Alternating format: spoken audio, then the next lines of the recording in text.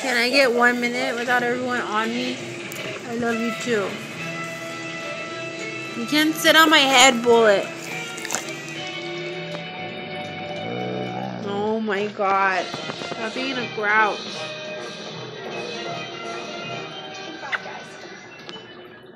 Tired of your bladder always cutting into your day?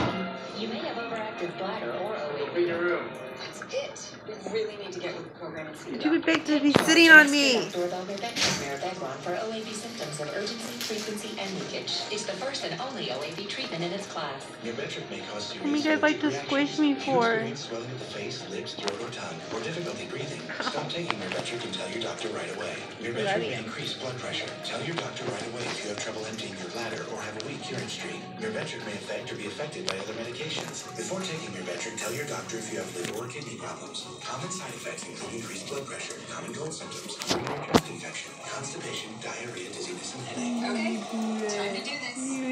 Don't let your bladder always take the lead. Ask your Bullet. doctor if Myrbetriq is right for you about hair gold gold. The red one is more gooder to me because it tastes like berries. The really Gooder to me. and then mango. Yeah, I'm on my head. I don't want ass on my head. Oh my god. Baby's chubby little hand latches onto your fingers so I hard. don't want to get you back That's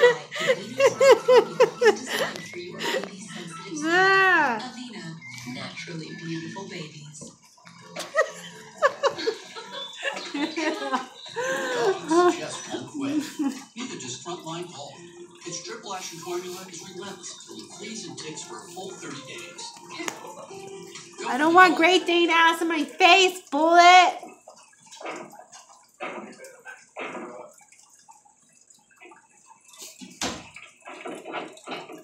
Bullet, get off of my face. I'm Ronald military police. this is Captain Crane. Ew. Is recruiting? Sorry to trouble you, but we have information. The fuck were outta in the here. Emergency hospital yesterday, talking to some people. Freaking weirdo. They're escaped military Freaking prisoners. weirdo, Bullet. Extremely dangerous. Who, those folks just passing through? Mm-hmm.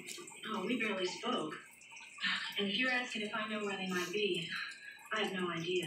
Watch your goddamn 18 Bullet. We check the premises of any persons reported to have been seen with these individuals.